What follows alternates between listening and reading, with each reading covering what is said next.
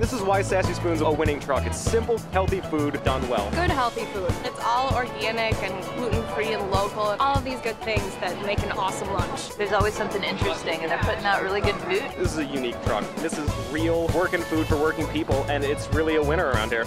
Once people try the food, they think it's really, really tasty. That's a really great feeling.